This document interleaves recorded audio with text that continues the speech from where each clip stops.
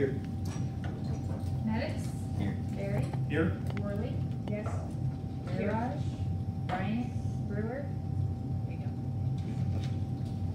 go. Okay, uh, moving on to approval of agenda. Can I have a motion to approve the agenda, please? Second. Thank you. A vote, please.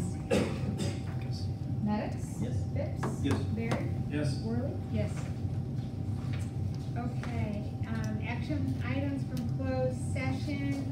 Uh, may I have a motion to approve the minutes as presented or amended? Second. Action, Barry. Yes. Maddox. Yes. Phipps. Yes. Worley. yes. Okay, moving on, um, communications, um, four point one, athletic director annual report. Hi there. Hello. Dr. Wood, members of the board, thanks for the opportunity to share with you tonight the athletic report for the 2019, uh, 2018-19 school year.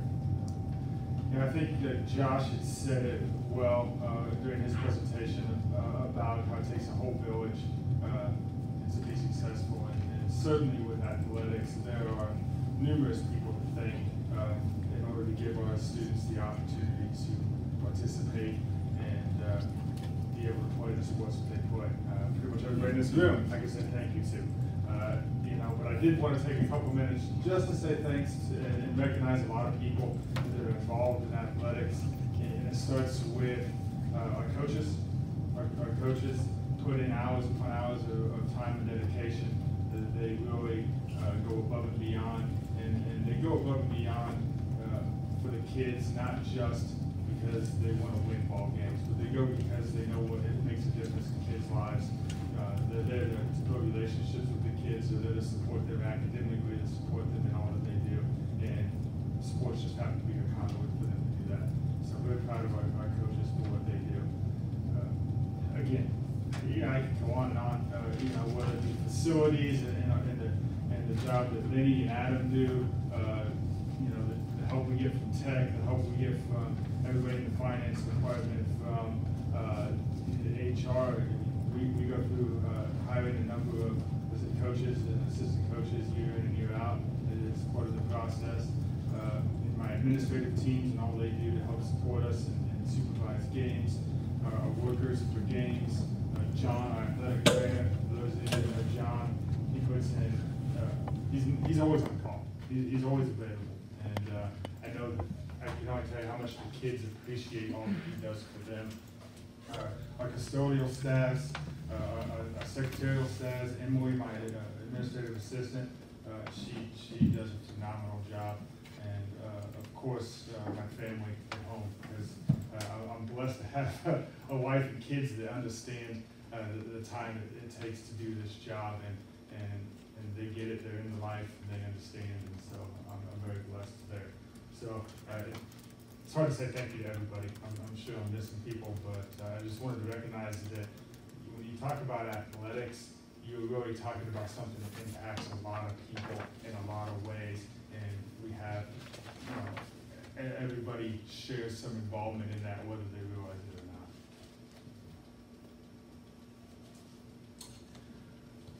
not. Had an opportunity this year to sit down with our coaches and have some conversations about what it means to be a Glenwood Titan athlete and what are, what is our shared vision for, uh, being a participant in, in athletics uh, in, the Ball Chatham School District.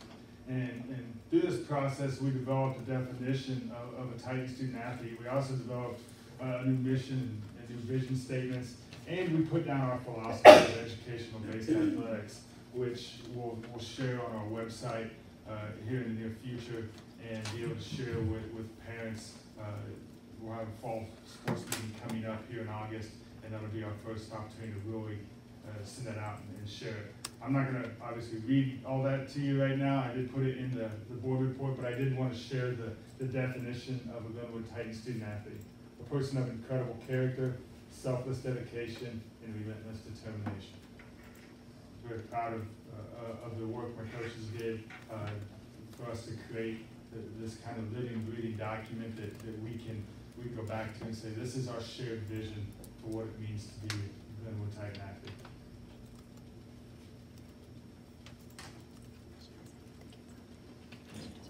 So during the 2018-19 school year, a lot, a lot of stuff happened. Uh, a lot of great things. Uh, had a lot of contests. Participated in a lot of sporting events. Over 860 contests. Almost 600 at the high school and over 260 at the middle school.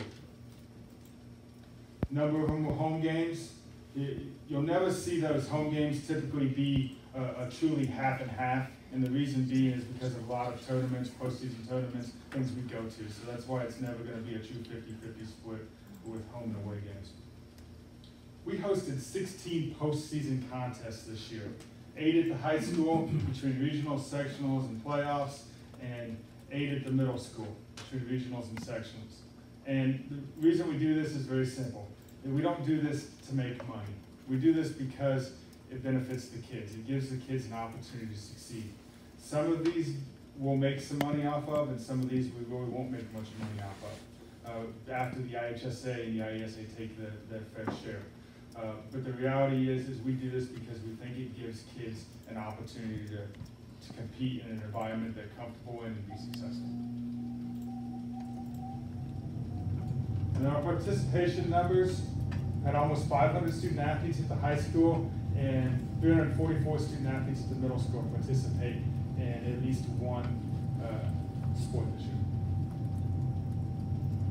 111 coaches between the high school and middle school.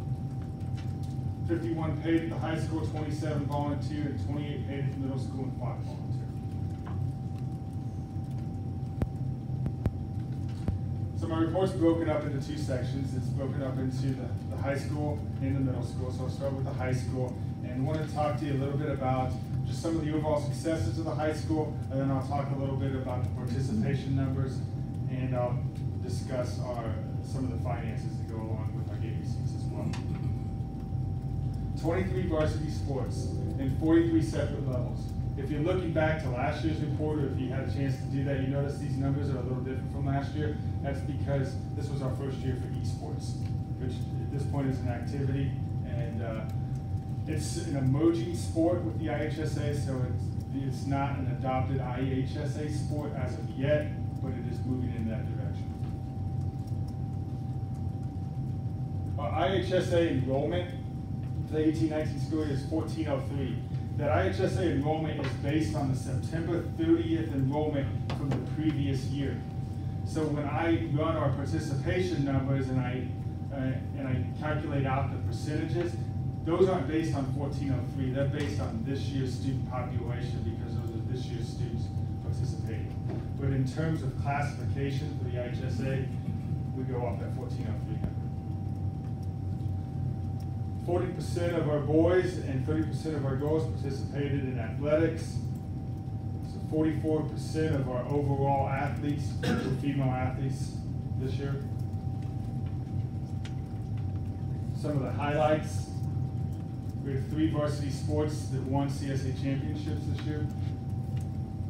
We finished in second place this year in the All Activity Award. U-High won that, and in continued reports, I did put the, the complete standings. One state champion, boys cross country, one second place trophy, the athletes with disabilities, uh, boys swim and. We had five regional championships, one playoff berth, three sectional championships, and we had multiple teams and individuals qualify for state. Overall, very successful, very successful. Please feel free to stop me if you have any questions. Some of our participation numbers.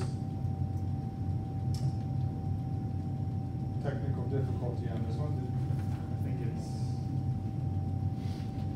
I have it broken. I'll have it broken down in these next slides. Um,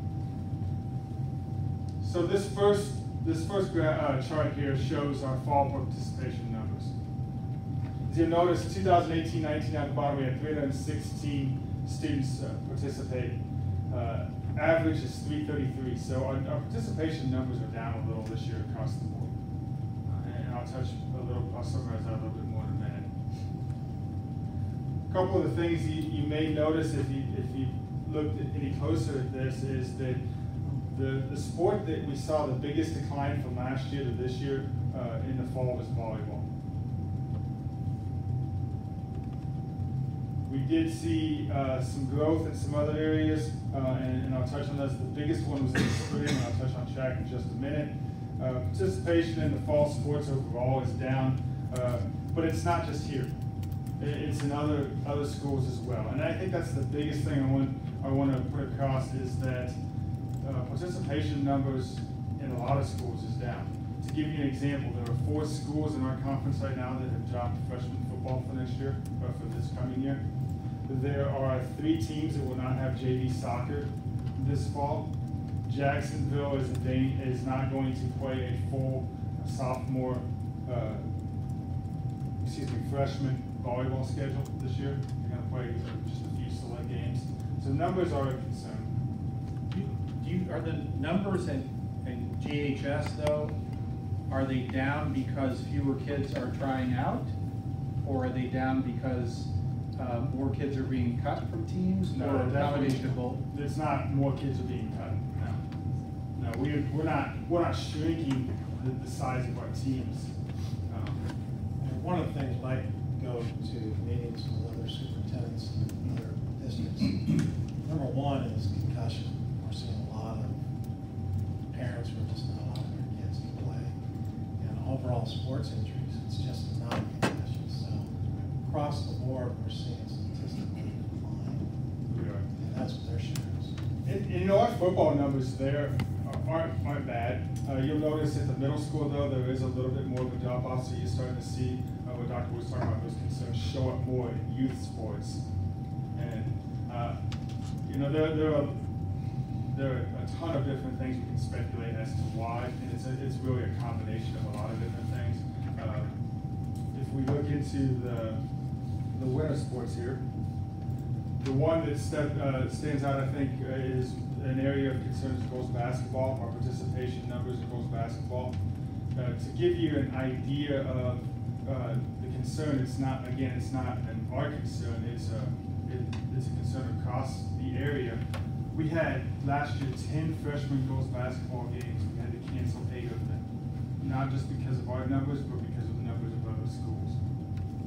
So that is a concern. We'll, look- when we look at the GMS numbers though, our GMS girls basketball numbers last year actually went up a little bit. So we're hoping that that trend starts to, to reverse a little bit.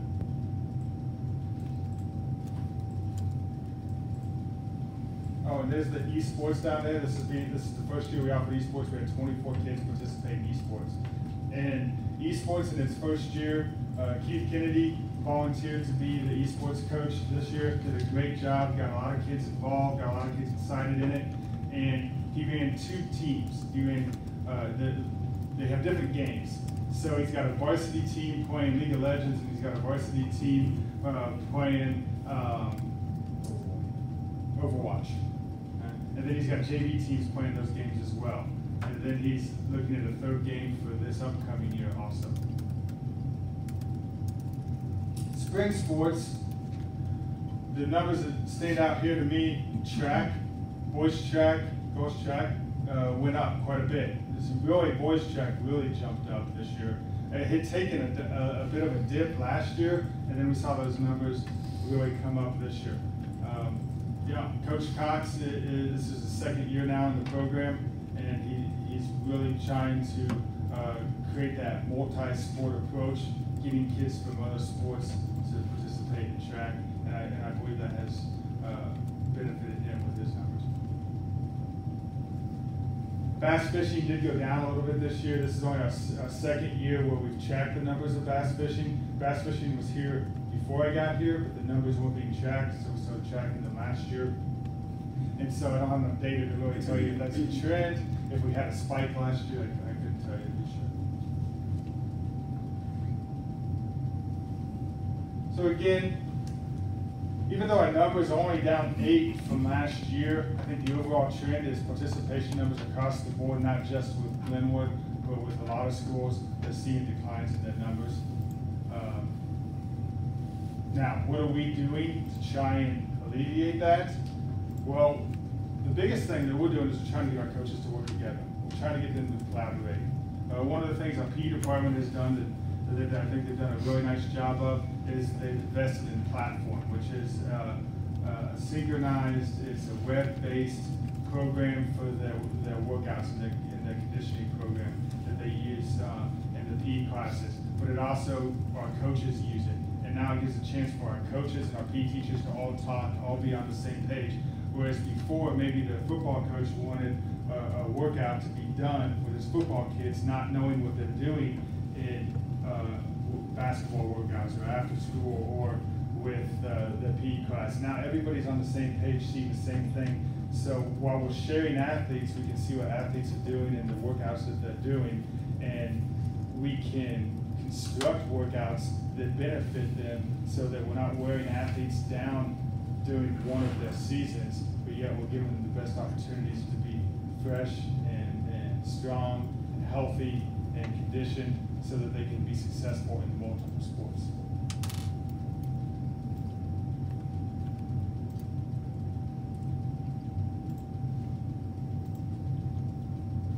Participation numbers by grade. The, the taller, uh, taller columns on the chart, the ones with the percentages by them, those are the overall numbers for each grade, ninth grade, tenth grade, eleventh grade, twelfth grade. Uh, then it's broken down even more by boys and girls. You'll see that the, the, the class that has the, the least amount of overall participation is this year's junior class, so our senior class coming into this next school year uh, has a lower participation rate. The freshmen typically always going to be the highest participants. There is that natural attrition that happens over the course of four years. Kids try more sports, and then they, as they get older, uh, undoubtedly there's a few kids that no longer are interested in participating.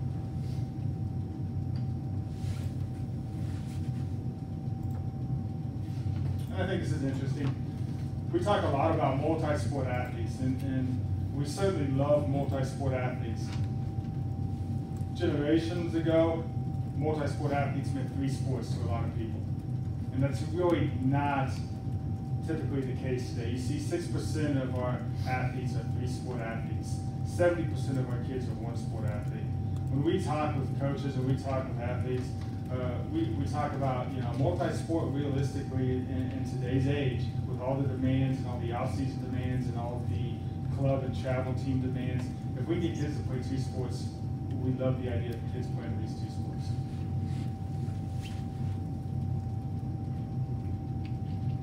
And these multi-sport uh, charts for the high school are very similar to the ones you'll see for the middle school. Any questions on participation before I go to uh, budget numbers? So these are gate receipts from this year. And every year when I, when I get up here and talk about gate receipts, I put that little asterisk down at the bottom and talk about football. Because football is, is such a different character when it comes to our gate receipts. It has such a huge impact on the overall amount. Last, and every year changes a little bit because we have one year where we have five home football games, and those opponents that we play in those years are bringing in a lot of fans.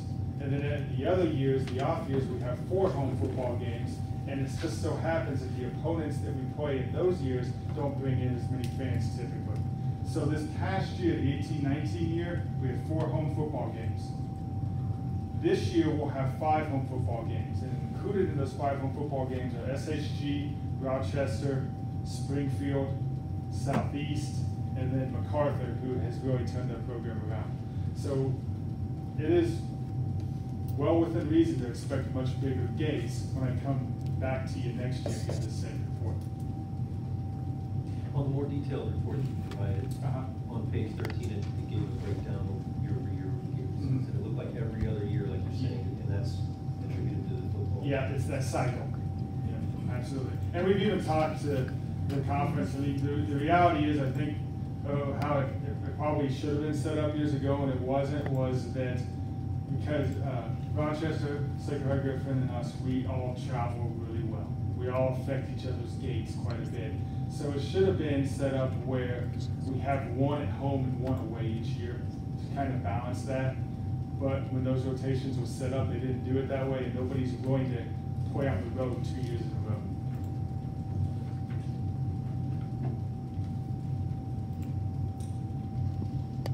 Now, you may ask, why is spring so, so little? We just don't have a lot of opportunities to charge at the gate in spring. Soccer is the only, the only sport that takes a gate. And you may ask, well, why don't we take a gate in, in softball or, or baseball? Uh, conference-wide, we don't take gates at those games. We don't take gates at uh, just regular dual track meets. Uh, and again, that's keeping in consistency with, with the rest of the conference.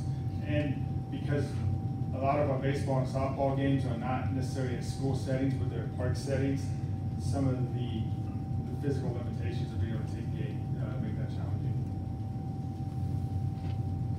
Season ticket sales, I'm a little disappointed in, in the decline in season ticket sales. Uh, and so we have a plan to, to try and bring that up this year because they are down a little bit. And one of the questions we would get asked, do you take debit card, do you take credit card, can we buy these online? And, and have a way to do that. So last year, one in our last football game, um, we, we sampled a uh, mobile uh, ticketing method, and one that didn't cost us money in the district.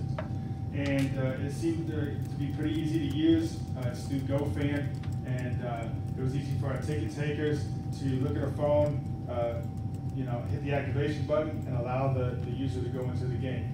So this year, after setting it up with the company uh, and working with Josh, we put it on our registration page. So now when everybody's registering for school, they're going to have the opportunity to buy a mobile ticket pass, and it's their season pass. And so they can, through this registration process, they can go ahead and do it, they pay with a credit card, and now they just show up at a game with that mobile ticket. Uh, we also, we had student council uh, members come to me and say, hey, we want to do something where we can get some more students at games talk to. And they said, well, what if we did like a discount type of card, like a punch card type of thing? So Dr. Wood and I talked a little bit, and what we ended up coming up with is this mobile device is a safe and secure way of doing it, um, and it keeps it keeps somebody from going in the back and punching a couple holes and walking in the free game. Uh, so we're gonna we've also as part of this offer the, the students uh, uh, buy four games get the fifth game free thing. And I know that's not a huge discount, but it, it, it's just, we're going to try it and see where it goes, and, and we'll learn from that and, and have more information for next year.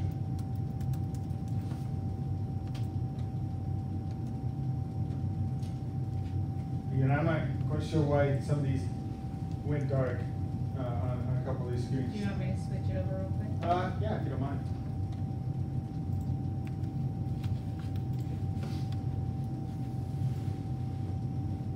There we go. So I thought it was in- interesting, uh, I, I haven't talked about this in years past, but I want to talk about the, the classification system that the IHSA uses. And they've changed it a little bit. Uh, it used to be that every year, uh, our classification was based on the years, the year before's enrollment, like I talked about. Starting this year, it'll be based on a two-year average. okay?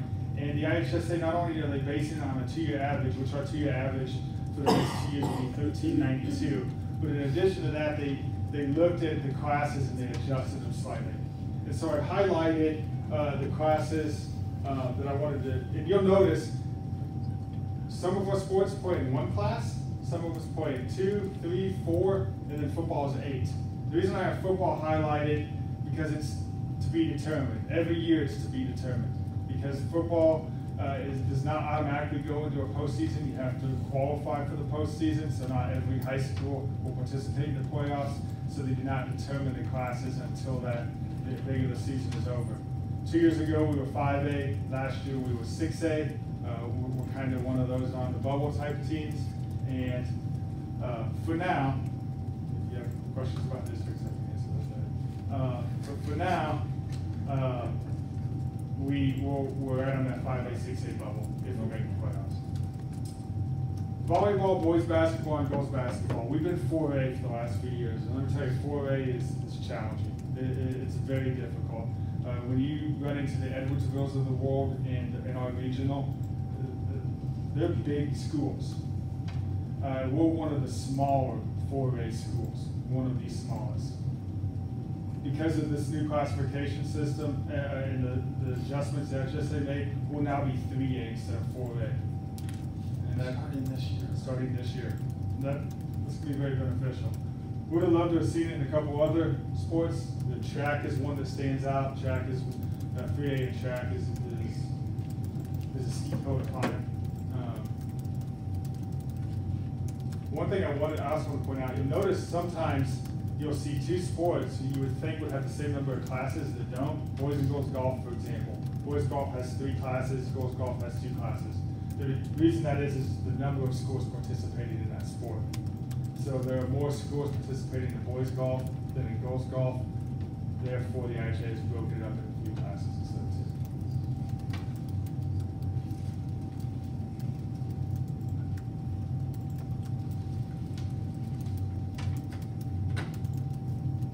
So now on to middle school. And intermediate school. We have eleven sports. We have students participating from fifth grade on up to eighth grade. Some of the highlights. Won four regionals this year, eight sectionals. We had a state championship team. Our uh, eight A boy, eight double A boys track and field team won state. We had a second place finish in state with wrestling. Third place finish in state with our seventh, seventh grade girls team. A fourth place finish in state with baseball. Fifth place finish with boys and girls cross country. We had two individual state champs, Alex Hamrick and Caitlin Laney. We had two relays that won. Our, our eighth grade boys four by two and four by four. Relays both won state championships. And then we had a number of individuals that were state qualifiers as well. Um, It's always fun to get up here and, and have a long team and individual state trophy winners. Uh, so that's, uh, it, it's fun to bring those trophies home and uh, really, we're, starting to run out of room. If you've been over to the middle school and walked down that front hallway recently, the, the trophy case is getting pretty full, and that's, a- that's a good problem to have. Participation numbers, I think this is, this is really cool. I, I didn't make this up, hundred seventy-two boys and hundred seventy-two girls participated in sports.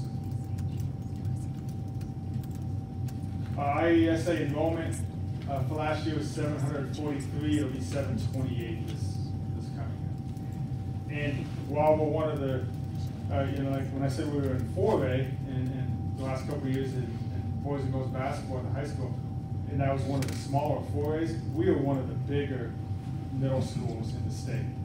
We're, we're bigger than a lot of the suburban middle schools. And a lot of that is because we, those high schools have multiple middle schools feeding into the high school. But, uh, we have a very big, uh, seventh and eighth grade. Here's a breakdown of numbers for our middle school sports.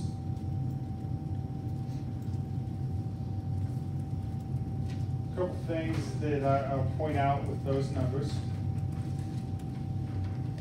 is the wrestling did uh, go up quite a bit this year. And last year was our first year with fifth grade wrestling. And so this year we had uh, a number of fifth graders that went out for wrestling. So that was a, a nice influx in, wrestlers this year. I mentioned earlier girls basketball. Uh, you can see that the numbers went up, and, and that's good. Um, we're glad to see that.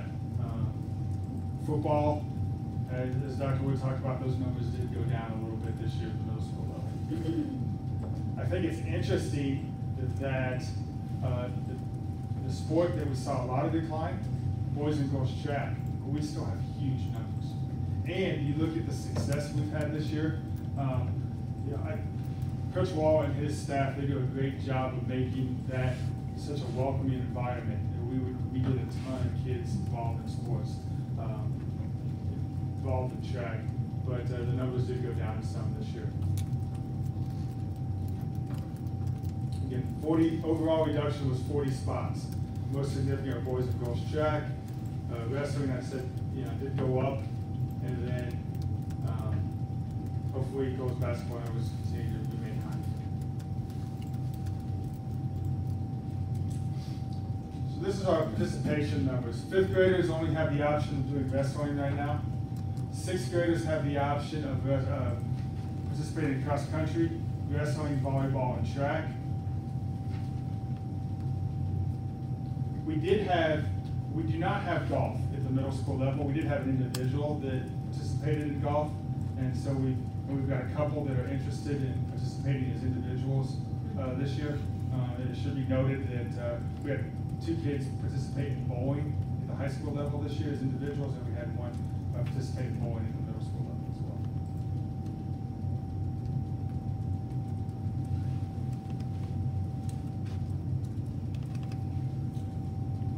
When I showed this chart at the high school, I showed three sport athletes. You'll notice here at the middle school, uh, there's a one percent in there for, uh, four sport athletes. That opportunity really doesn't present itself very well at the high school level, but the way the seasons are set up differently at the middle school level, that opportunity presents itself a little more. It really only presents, the way it most presents itself is, um, in, on, with girls' sports, you could play softball, and then girls' basketball starts a little bit later in the fall and goes into the start of the winter season, and then volleyball butts up to the end of basketball. So you could go softball, girls' basketball, volleyball, and then track, and that's where we see that fourth sport typically come in.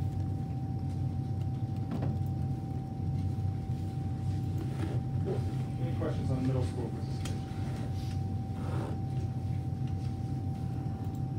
Here are the gate receipts for the middle school. We have five sports that we charge gate receipts for, football, girls basketball, boys basketball, volleyball, and wrestling. Football, the numbers went up this year, uh, this year. One of the things that was a little bit different this year with football is we had a couple of extra home events. We had one time where we were supposed to play an away game, we had bad weather, uh, and so we had to move it to a Tuesday night to play, and we played at our field instead. But because it was a Tuesday night school night, instead of playing seventh and eighth grade on this back-to-back like we would do on a Saturday, one Tuesday we played seventh grade, one Tuesday we played eighth grade. So there was a little bit more, and, uh, a few more opportunities to take game. Volleyball, uh, you see those numbers went up. And one of the reasons those numbers went up is because in the past, we had not taken a game for the sixth grade. The sixth grade played right before the seventh and eighth grade. And we were noticing that a lot of people were coming into the gym during the sixth grade game. And so this year we decided to take a game, the sixth grade game as well.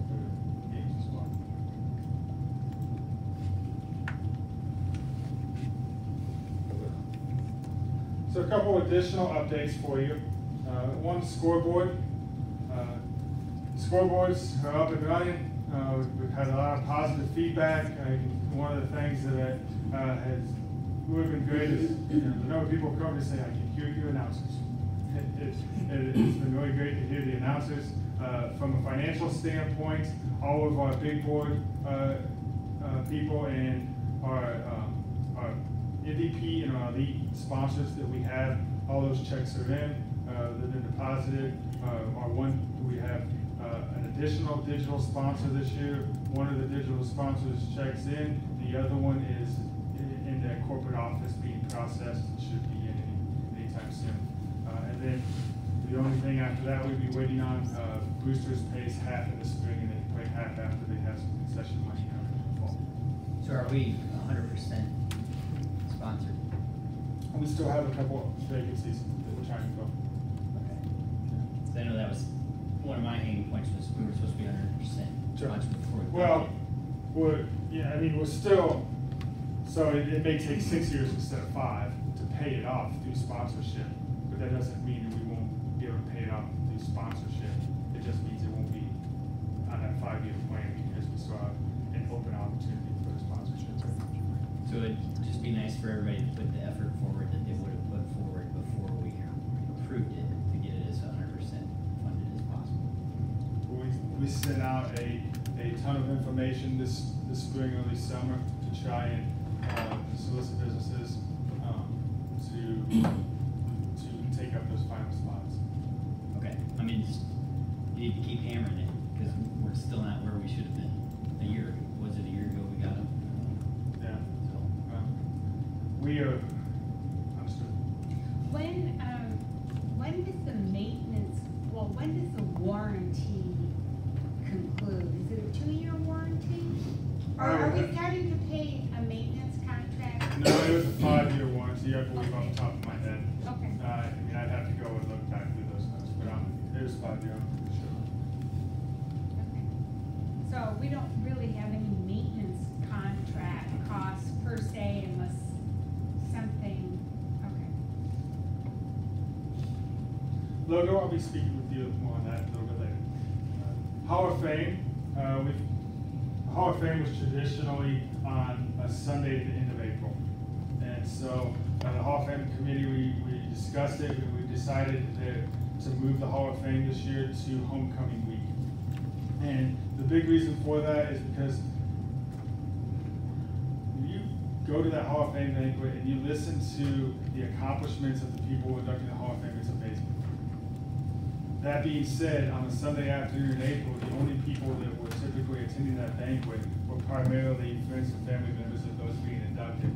And we felt that it was very important to try and get, get their message to our students. So, uh, Doug Sinsky is, and I are working on an assembly where those people during homecoming week can come and actually get in front of our students and share their stories with our kids, because we think it's very inspiring. And then we have an opportunity, uh, on that Friday night of homecoming to then recognize those inductees at, at the football game, uh, where we know, um, that, that we have, we have very good turnouts. We have a very good community turnout, and so we wanna put a spotlight on, on their successes. We're also gonna give them a little coin that they get to keep, and then anytime they come to a game, they get to show their coin and they get, so a little token. I already touched on the online season tickets. Um, Basketball scheduling, um, I wasn't at the last, uh, meeting, um, sorry, I see there were some questions about basketball scheduling, so I wanted to address any of those questions that you may have, but I also wanted to let you know that, um, we've been working pretty diligently to try and, uh, come up with a more balanced schedule. Um, you know, we, we met, um, and discussed the concerns about uh, some inequalities, um, and I know, um, th- there were some things that were addressed, um, and then, like I said, feel free to ask questions, like, I can tell you the overall approach that we're taking, I've, I've gone and I've talked at multiple meetings, uh, at the CS8 with other ADs about what can we do, what steps can we take to find some more balance, and the thing that is getting the most traction from those conversations is looking at ways to have double header nights. Um, where we would play both varsity games in one gym and both JV games in the other gym. So if we're playing boys basketball first, then we play the girls sophomore game in the other gym. If we're playing, and then when it's time for the girls varsity game, and then the boys sophomore game is going on in the other gym. Um, so we sat down, uh, we have another AD that does a lot of the schedule rotations. I sat down, I started working with him. Um, we put in a lot of hours, we took a couple days to work on it. I went over to Decatur, uh, sat down with him for, and, um, the new rotation doesn't start this year, it starts a year from now. And what we were able to do is we wanted to, first of all, we, it just makes sense to have more, uh, we wanted a completely balanced. We wanted to play the same teams, uh, the same weeks throughout the course of the season. Um, There were some weeks where we were playing one conference game and not two conference games, and, and so we tried to find, we tried to make it so we're playing two conference games every week. Uh, One of the big challenges we face are the city tournaments. In the city, if, if there were no city tournaments, it would be easy to say, okay, we've got, uh, we play each team twice, we play everybody round robin, all nine, all ten teams. The first half of the season, turn around and flip home and away and play it on the second half of the season, and we could pair it up and match it up, and that'd be great. Um, but because of the season tournaments for the Springfield schools, or the city tournaments, and they, the boys and the girls are on different dates, it, it throws that off. So we're able to match up, I think, seven, seven different scenario games where we would play common opponents, the boys and the girls. And then the next thing we had to look at was, okay, Rochester, if we're playing Rochester, we can do this. Whether we're home or away, they've got the gym space, we've got the gym space to play the double headers. Now, not every school has that. About half of the schools in our conference have the ability to play two games simultaneously, about half do not. Um, Just because they will have one gym. because they have one gym, yeah. So, then, so we, we looked at some of the complexities that went along with that. Basically, when it all boiled down, we, we found three or four dates where Glenwood in, uh, 2020, 21 could do these doubleheader games. And I think when we do those doubleheader games, then we would, uh, you know, w- w- w- we've been meeting all year about trying to find ways to get band more involved. Uh, Dr. Wood will tell you. But, um, we can, with those double headers, that even creates more of those opportunities to get band playing for, for both, both teams. Um, So it, it is, it is being worked on, um, you know, it's, I know one of the comments, um, that I read through the notes was about, um, playing one team at home while the other team is on the road. Um, and it- it's, that, that's been met with, uh, Honestly, I don't think the conference wants to do that. Uh, I, I, we, personally, I, I don't, I'm not comfortable with that because I don't wanna split our fan base between having to choose to go on the road to watch some of our kids or stay at home and watch some of our kids. So if we don't have to do that, we wanna try not to have to do that.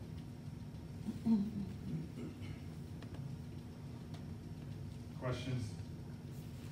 In, in that last example, you mean to, when, when, for example, the boys' basketball team is playing on a Friday night, Mhm. you would want the girls' basketball team to also be playing on a Friday night at home, when the boys are away, is that what you're saying? Yeah, whatever night it is, yes. Um, the other thing I asked the conference about was, um, Saturdays, Saturday games.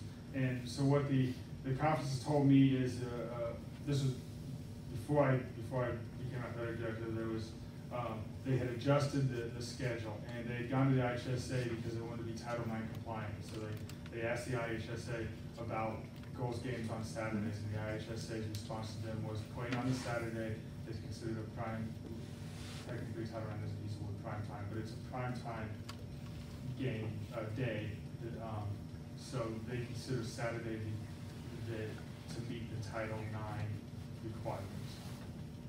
So, One more question, when the girls play on Saturday, do they play, I don't know the terminology, is it the big gym or the small gym? they, they play in big gym. Oh, they play the big Yeah, we put, we had one situation this year where they, they played in a small gym, and it was one we tried to avoid.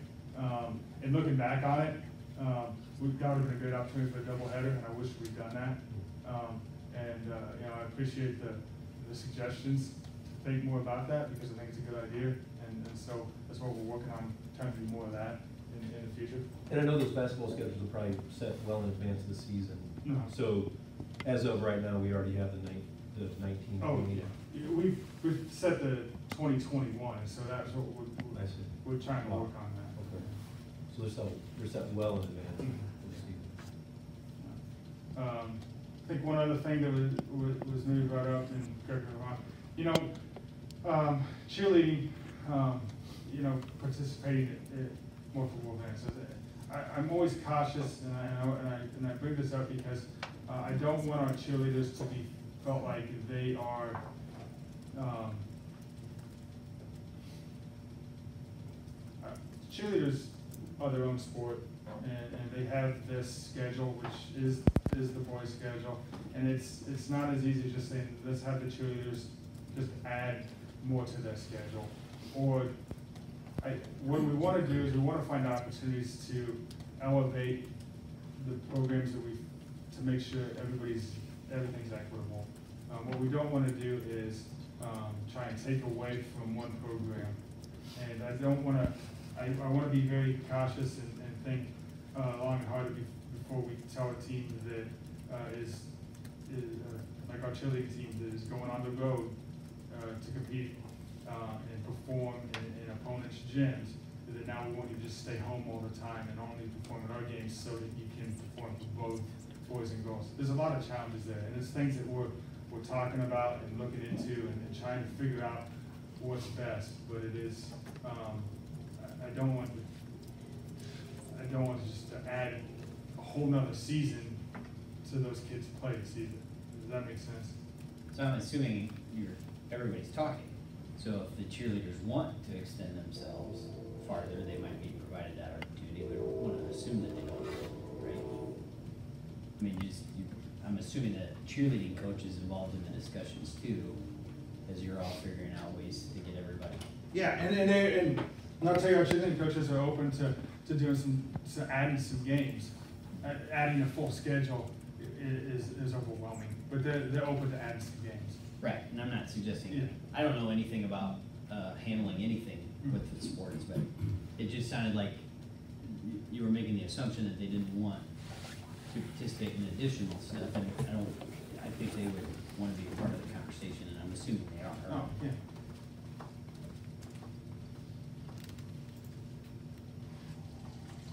Football districts updates, um, the, you've heard a lot in the news about districts, and districts are, um, not going to happen for two more years. And quite honestly, there's, there's not a lot to talk about yet with districts, because there are a lot of schools out there right now that are unhappy with the direction of districts. And so I think there's gonna be a lot of proposals between now and then, so it's too early to really give you much information on districts, because I would, I would not be surprised if there's another vote this year on whether or not to continue the idea of districts.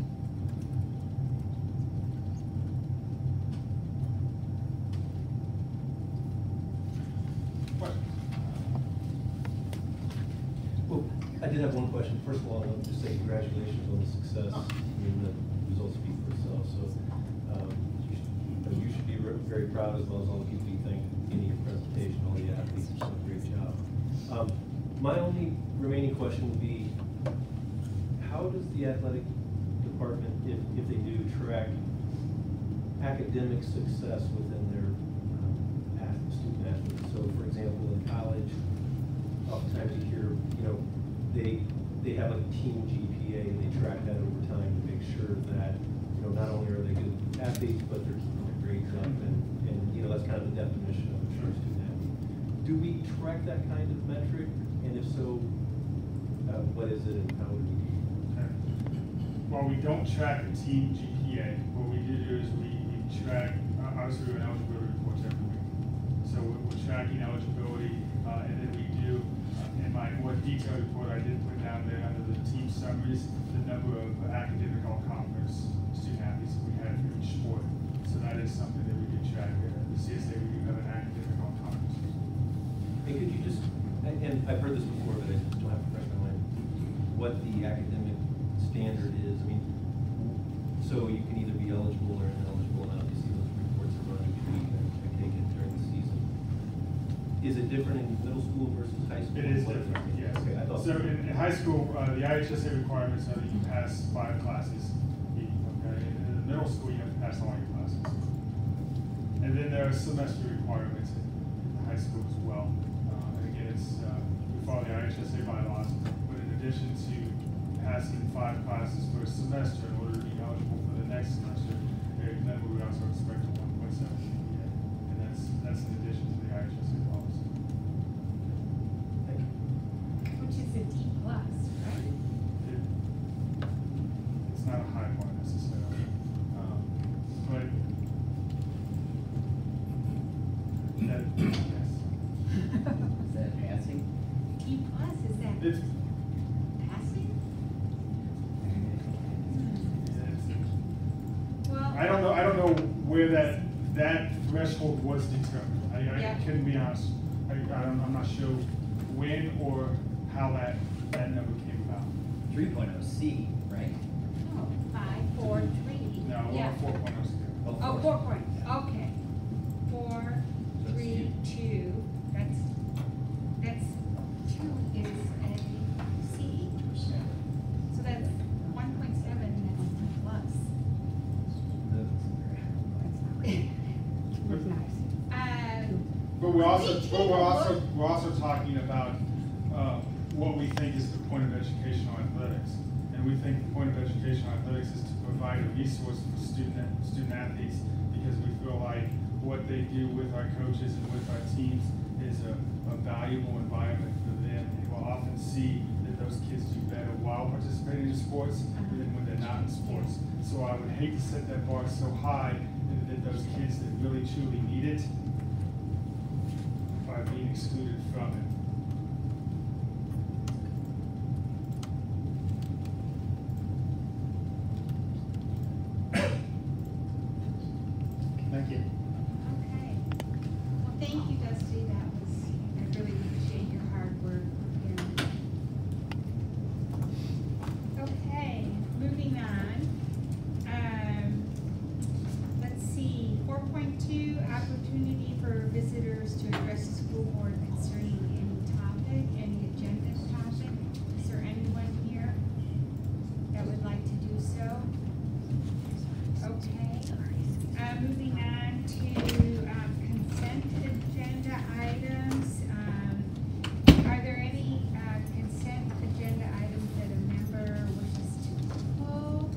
I'd like to pull 5.2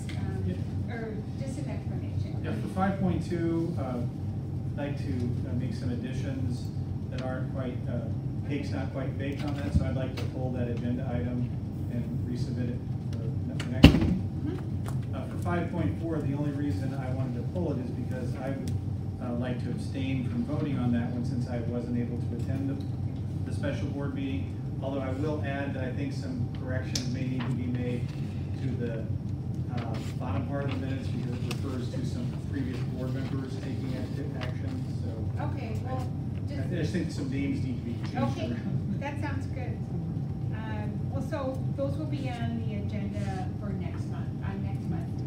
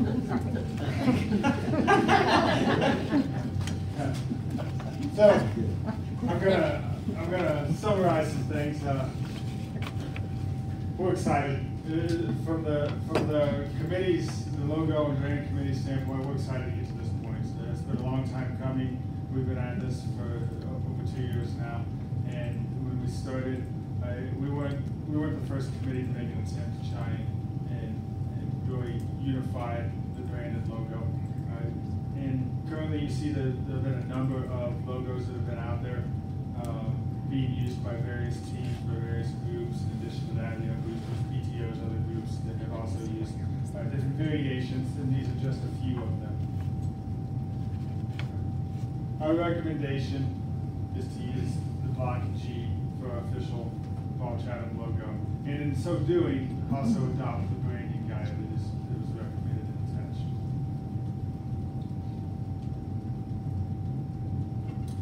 To give you a little bit of idea of all the steps for, for those members of the board that are newer to this process, back in uh, the 2016-17 school year, uh, the district started the strategic. And it wasn't directly part of that project, but it sparked the conversation. And so, uh, to carry on that conversation, uh, we started talking to our coaches. And in, that coaches meeting, uh, basically we agreed that it would be beneficial to us to have a, a consistent unifying image that that we would collectively use. So we formed a committee uh, made up of faculty members, administration, students, and community members, and we got to work.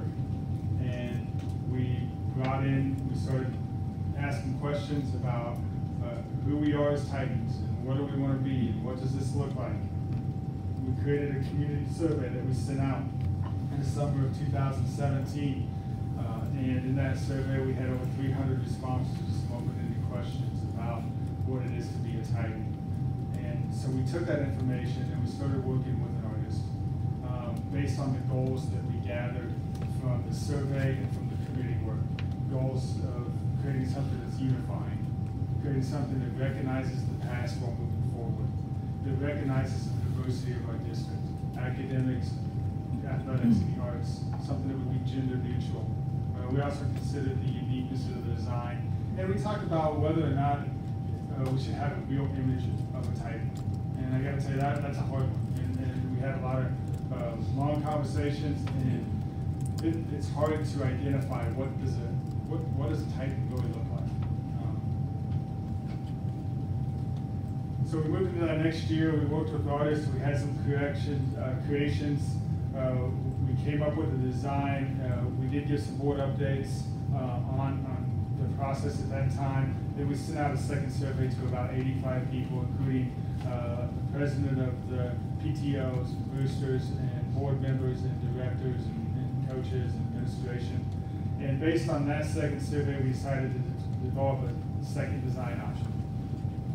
Uh, we developed a second design option, we then surveyed, we went through that process, uh, felt like, uh, we had positive feedback on it, so then we created another survey.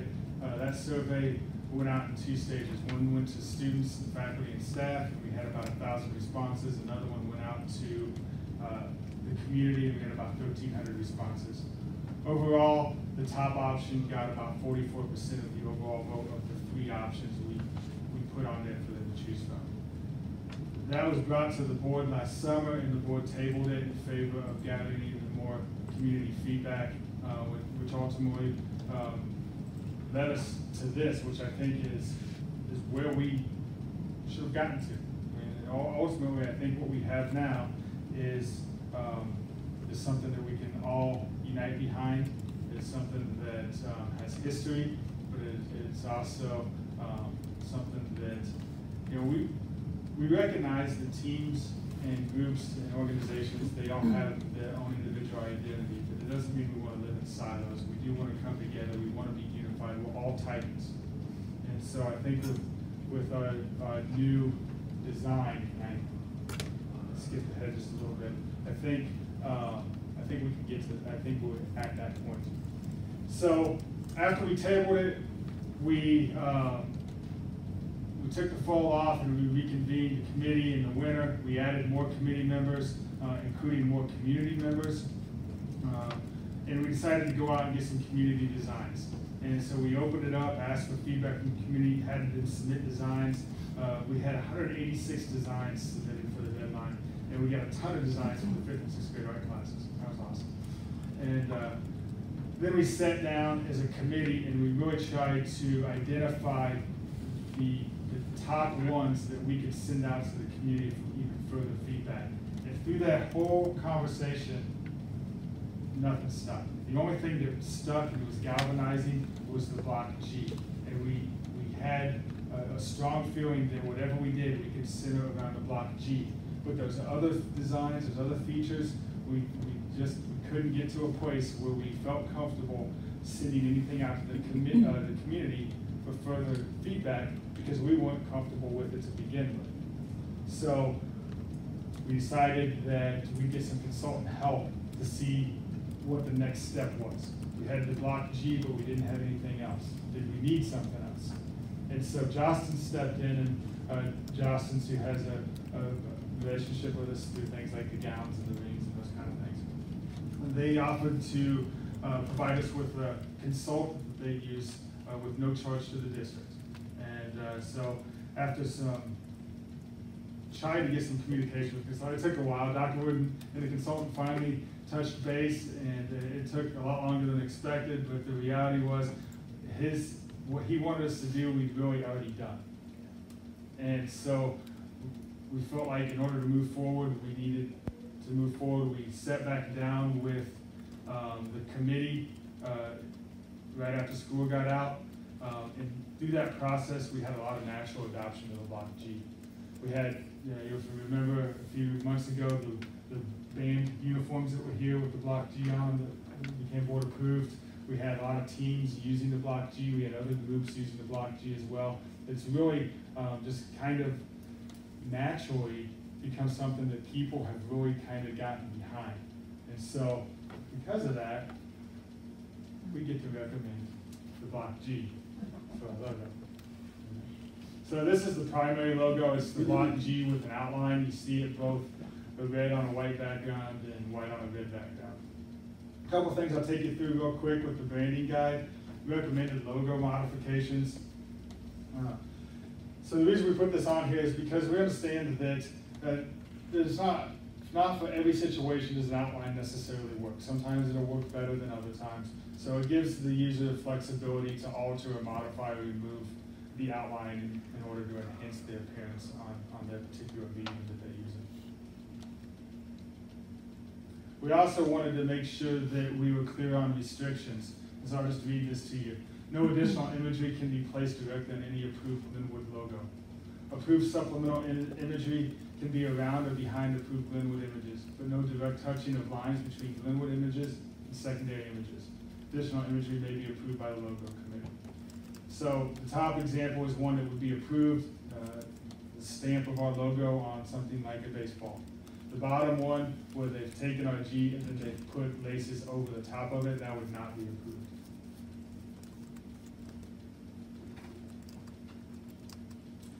It's important that we have our recommended colors. I think one of the things that's challenging is matching reds.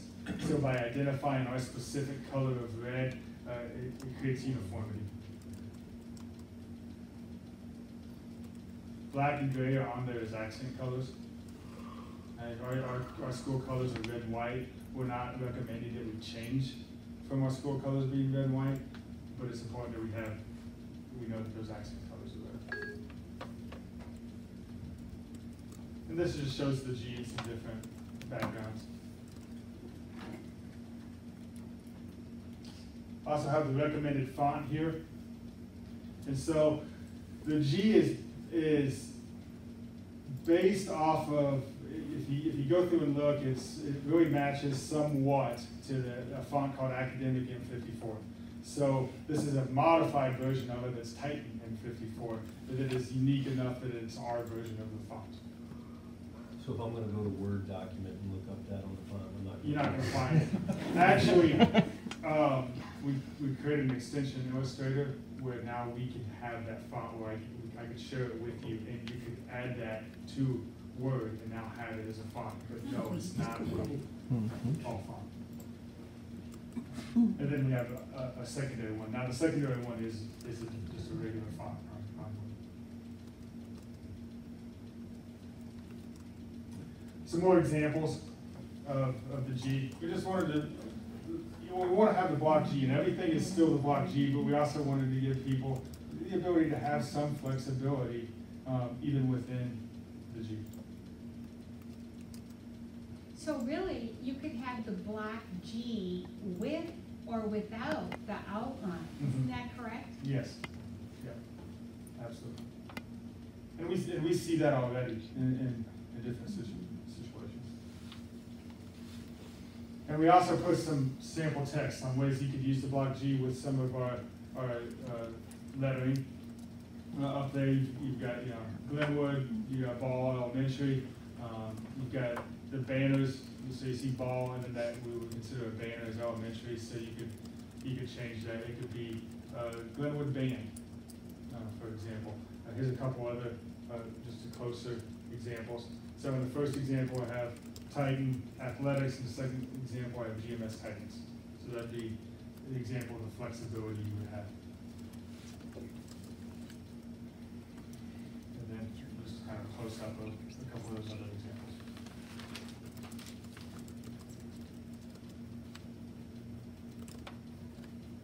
And then a couple points of clarification, secondary logos, that, that's a big, uh, that's, that's a big conversation, multiple conversations.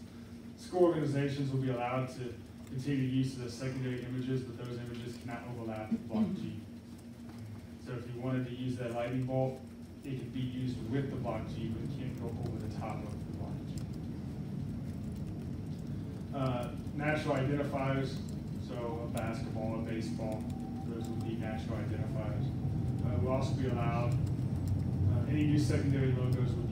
committee approval. And then the previous board approved logos, uh, down there, the T with Glenwood across it, uh, and then the, the GT, um, which has been used a lot throughout the district, uh, will be phased out over time. This is not an immediate removal type of situation. So as, as things, uh, need replacing over time, that's when we replace them with the ones.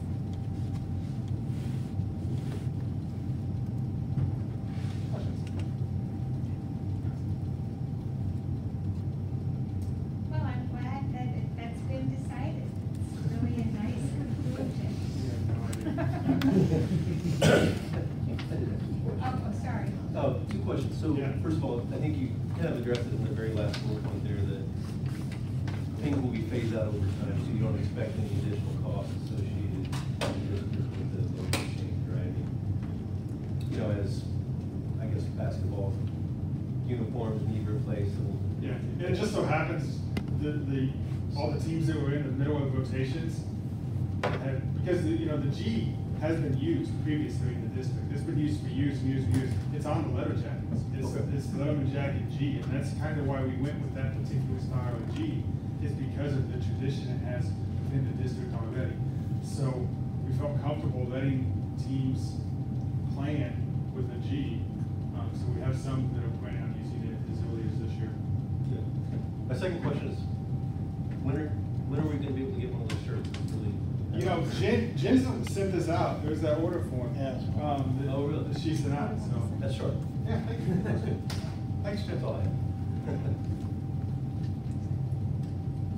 So do we, Yeah, we need to approve the? Yep, sure Well, I. I move to approve the committee's Okay, recommendation. excuse me.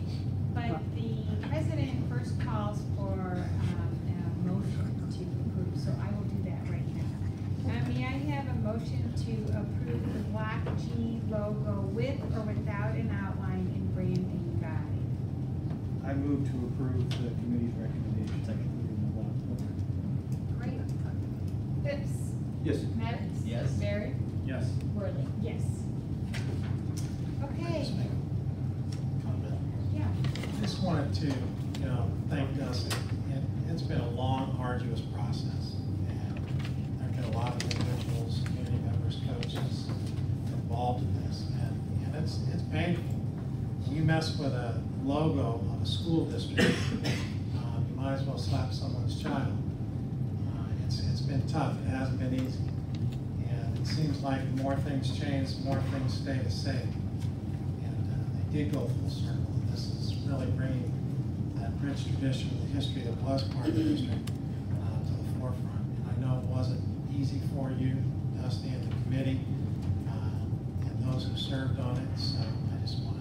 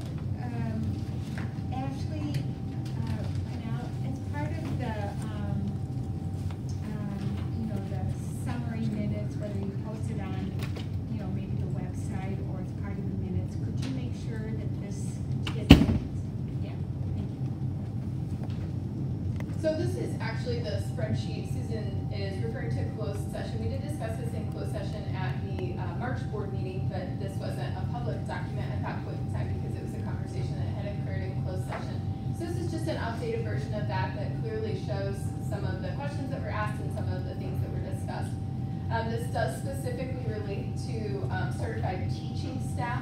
It's attrition from the 17-18 school year going into the 18-19 school year. We don't have a full set of data yet from the 18-19 school year going into the 19-20 school year.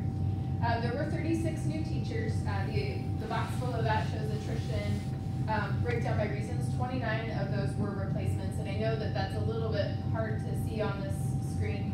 But of those twenty-nine replacements, seven were relocating out of the area. Um, eight had another job, and we'll talk about that in a moment when it's broken down in the box below. Five were family obligations, whether that was that they had a child, whether they had a sick family member that they needed to take time off to take care of, whether they had young children at home that they needed to stay home to take care of them. Um, five were non-renewals, two retirements, and then two for health-related reasons. So if we go back to that other job breakdown, that box in the middle of the page that you see there, uh, we did mention that there were eight of those. Five of those people took a job closer to home. So um, that was a considerable factor for them was driving distance. Uh, one was a change of industry. He totally left the field of education and he went to do something else. One was better pay. The one that is listed as better pay was our certified school nurse, which is not actually a teaching position as the headline at the top of the page indicates, but is covered by that union. At the bottom, you'll see um, the positions. It does list eight new positions, one of which was um, pre-K, which was grant funded, and then the other seven were um, added due to reduced class size.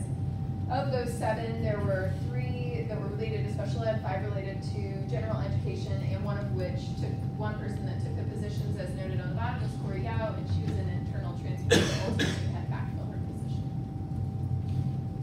Sounds great. I think this is a really good, um, this is a good, um, basically, this is a good format that we should continue, um, in future HR reports. Because, for two reasons. One, it gives, um, board members, current and future, a chance to basically just see, um, the composition of why the district hires, and I say why, the district, um, needs to hire, uh, those positions based on the s- prior school year's reason for departure. So I, and I think it also, um, will prevent any misperception, um, either in, at a board meeting or via email, um, to board members that there's so much turnover, so much activity, um, because, uh, you know, the assumption is, is that, uh, teachers are not necessarily satisfied with, uh, working with the district and for the district. And what the detail shows is that there are many, many different reasons why, um, teachers, um, depart from the district. So, thank you very much, this is really good. You're welcome. Okay, um, adjournment of the regular meeting. So um, moved. Thank you. Second. Okay. Great, Aye. we take a vote here, and then. All in favor? Aye. All opposed? Thank you.